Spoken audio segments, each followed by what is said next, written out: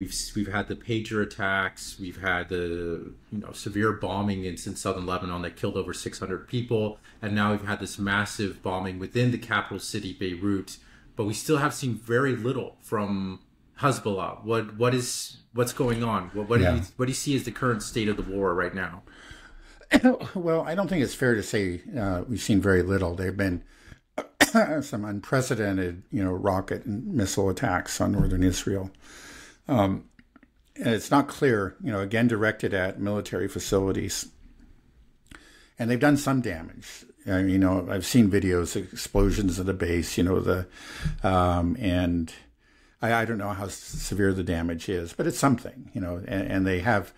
Um, you know, we'll, we'll see. Uh, the you know the Iron Dome has been working hard to to shoot down these these Katyusha rockets, and I guess they, they shoot down a, a fairly large percentage of them. But I suspect that there are a lot more Katyusha rockets than there are Iron Dome interceptors, and at some point, the, the you know the Iron Dome is going to run out of interceptors, and the other missile systems will as well, and then we'll see what happens. And it and we also hear again that um, Hezbollah is has more advanced missiles. We haven't what we've seen. Okay, there was one I think called a Qadr missile that actually was fired at Tel Aviv. It was intercepted by I think a, an Arrow interceptor uh, fired by the Israelis. Uh, but in general, we've seen these Katyusha rockets, and then there's something a, a kind of a, a, step above them, the the, the Fadi one, Fadi two. We've seen some of those. Um, but there's supposed to be, you know, some truly advanced ones, and they the, the Hezbollah hasn't uh, resorted to those yet. They are, you know, they are responding, but it, the truth is that in the air war, you know, they they are greatly outmatched. Um, you know, they can do something. You know, obviously they can they can uh, prevent um, Netanyahu from obtaining his, his objective of returning uh, the, the, the residents of northern Israel to their homes, um, because you know the the reason for for evacuating them was the the, the rocket attacks, um, and now these rocket attacks have increased in scale, and they had no sign no sign of letting up. Um, so clearly, so far, he's failing to achieve this objective. Well, what what do you think about just the way that Israel's conducting this war? Do you think that it's been effective at all in disarming, disabling, subduing Hezbollah uh, in the region, well, or? Well, they they clearly have you know been very successful in killing a number of uh, Hezbollah commanders, and actually they they've I'm so successful that you have to suspect that that um, Hezbollah's communication system has been compromised in some way. You know, because I, I, we we don't know what's happened to Nasrallah. We don't know if he survived or not. But he just, I think, yesterday or the day before, they took out the head of the you know the drone department, and, a couple days before that, they took out the entire. Uh, um, command staff for the for an elite kind of a special forces unit. Um, they've done a lot of damage. They've really they've they've to the command structure of of Hezbollah. Um, but that doesn't destroy Hezbollah. I think it can create momentary chaos. But my understanding is Hezbollah was prepared for this. It's something that they they understand that their leaders what might be martyred, which is you know the term that they use. Um, and they prepare for it. You know, they have replacements. Each, each leader is supposed to groom, you know, a successor. And so there's somebody there that's ready to step into his shoes. Um, you know, I, maybe in the short run that will create some confusion, but um, I, I don't think that it's done, you know, long-term damage to Hezbollah. And even if Nasrallah is killed, I think what it probably would do that whoever replaces him is probably likely to be less of a moderate and probably more willing to you know take the to um, take the fight to the Israelis, um, and that to, that may be in fact what Netanyahu wants. I mean, you see that Israel has a history of taking out moderates. They don't want moderates. They want they don't want a diplomatic solution. You know, they they want uh, military victory, and they want to provoke their um, their enemies into, you know, into war. Yeah, but the, the, idea of a military victory just seems impossible to me unless you mm-hmm. kill everybody, which I mean, yeah. maybe they, that's what they want to do, but they can't get away with that, right? I mean, they haven't been able to do it in Gaza. I mean, there's reports of maybe up to 25% of the population now have died. You know, this number that's been stuck at 40,000. See, we, we had the, uh, right.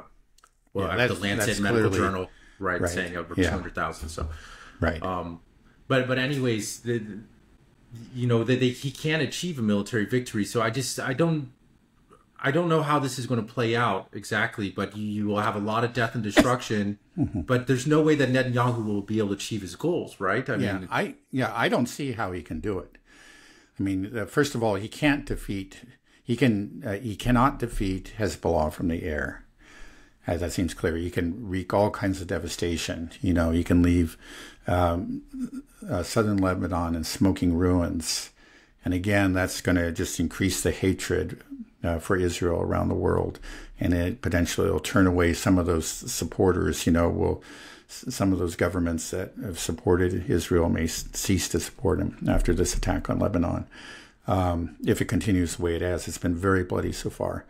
Um, he can't do it from the air, and because again, Hezbollah is is a ground force, and they're they're well entrenched in southern Lebanon. They're underground in many cases. You know, again, um, everybody now, you know, acknowledges that Hamas a, has a very sophisticated system of tunnels in Gaza, and and Hezbollah has one too, but it's got to be much, you know, that much larger, that much more advanced because they just had many more resources. It's amazing that Hamas did what it did, you know, being like this very small strip of land under siege, but yet they managed to create this underground network. Now, uh, Hezbollah has many, many advantages that Hamas does not have. One is that, okay, they, you know, instead of inhabiting a very small strip of land, flat strip of land, you know, under entirely surrounded by uh, by Israel. You know, it, um, I think you can say that even about the Rafah crossing. I mean, they have they have control over that crossing too. Um, uh, Hezbollah, you know, controls a lot more land. It's mountainous, and it's it's not surrounded by Israel. You know, they have, uh, you know, they have, uh, you know. Uh, um, their lines of communication or you know logistical lines, supply lines to, to northern Lebanon and to Syria, and um, and so, so you know the, the, the you look at the tremendous disadvantage that Hamas was has been, and yet they've managed to hold on. Yet they they still have not been, um, you know, defeated by Israel. Um, Hezbollah, you know, so all those Hezbollah has so many advantages. There's just no way if if, if Israel could not could not defeat Hamas, it could not wipe them out. You know, what chance they have against Hezbollah? They just don't you know, and also the, simply the, you know, Hezbollah has numbers, has a much larger army than Hamas ever had. And, uh, they're, they can't do it. They, you know, the kind of force they've talked about, I think recently a couple more brigades were moved to the border, but they don't have nearly the numbers to take on them. Even if they had the numbers, it would be a very difficult fight. And they just, they, it simply doesn't add up. When you look at, you know, the, the balance of forces on the ground, Israel just does not have the forces to take southern Lebanon. They don't. Um, they can't. Okay, they can they can rule the air, but they can't win from the air. They can attempt a ground invasion, but it will fail. Uh, so, and I, I, think that the IDF and um, um, Netanyahu understand this. But the bet, Netanyahu's bet again, is that he, well, he'll go in there, maybe knowing that he's going to get into trouble, but he'll get into trouble, and then the, the U.S. will come riding to his rescue. So that's the only way I can explain it. You know. So you, you think a, a, ground invasion is still coming, or should we expect a lot more of these kind of bombing campaigns from the IDF and just rocket yeah. fire, just sort of a yeah. Um, because yeah, Aaron Mate, you know, from the gray yeah. zone doesn't think that they will actually invade BC. Right. There's they... there, right. There's a difference of opinion. I've heard, you know, many well-informed people like Aaron Mate, yeah, say that they just don't won't, and others are not so sure, think that they will. Um, yeah, you know, whether they, you know, the fact though is that they don't invade. Um, in the end, what do they accomplish? You know, they leave southern Lebanon in smoking ruins, and then they, and Hezbollah is still there, and he can't, um, and the uh, the residents of northern Israel still can't return to their homes you know, so again, you know, what do you, what do you say? You know, what what is Netanyahu going to point to? You know, where is his success? And then he also will fail to. Again, I think there's no question that he wants to bring Iran in and the U.S. He wants a war, a larger regional war. Um, maybe he's hoping that he can provoke something, you know, with these with these bombings and maybe a response from Iran or some sort of uh, you know a much stronger response from Hezbollah that he could he could spin as you know um, as a real attack on Israel's threat to Israel's existence, and yeah. can play the victim. Sorry, Hen- Henrik is banging at the door. I give me oh, okay. one second. Right. I gotta. Yeah, I'll, I'll just say again, Netanyahu's plan is to ignite a larger regional war. I mean, I, I, I think there's no question about it. If you just look at the actions that the that the Israel is taking, they're deliberate over the last several months. They're deliberately provocative. You know, they aim to provoke some very strong reaction from Hezbollah and, and even more uh, from Iran. Um, and he's failed to to get that reaction. And now, you know, maybe what he's hoping that through this air campaign that he'll just, um, you know, that by killing Nasrallah and and and leveling half half of Beirut, Beirut and much of southern Lebanon, you know that he will finally get the reaction that he wants. But if that he may be true, and he may just he may just continue to you know, yeah, to bomb Lebanon. There was I think it was back in 2006 or maybe it was some other time that um, it, that Israel threatened to bomb Lebanon back to the Stone Age, and this time he might really try to carry it out with the hope that it, you know, when he gets them uh, in the process of bombing them back to the Stone Age, he'll finally get the reaction that he wants, and that and that can lead to the larger regional war that he wants. But that's that's a bit of a gamble, though, as well, right? I yeah, mean, because of the, course. The, yeah. the, the more that you do this type of bombing the, to, to elicit a response, the more you start to bomb population centers, level uh, cities and towns and villages. it's and then there isn't a response, and you keep on escalating, go higher, further and further until you, you know, just destroy Beirut. And then finally, there's a response from Iran. The, the idea that like, oh my goodness, this is an unprovoked attack. Israel has to defend itself, is not going to fly with the world, right? I mean, we can't. Well, what's happening right now in Beirut, the world is seeing it uh, and I think it's uh, people are kind of surprised about the amount of restraint that's been shown, for example, by yeah. Iran.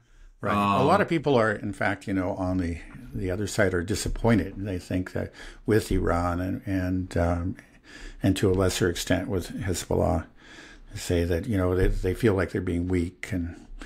Um, you know, I'm not going to judge them. This is a, they're in a very difficult position, and um, but that you get frustration on the other side. Actually, if if this war uh, it, will Netanyahu stay in power as long as this war continues when Israel's well that's his war? gamble you know that's his he well one thing he, he certainly has to continue the war um, to stay in power let's put it that way uh, his uh, I think both Smotrich and Ben Gvir have made it clear that if for example if he agrees to a ceasefire they're out of there and his coalition falls apart and so that's he ceases to be president, um, and that's something he can't risk. So you know whether or not he wants to continue the war or um, for reasons of his own you know uh, freedom and uh, his own career, he needs to continue the war.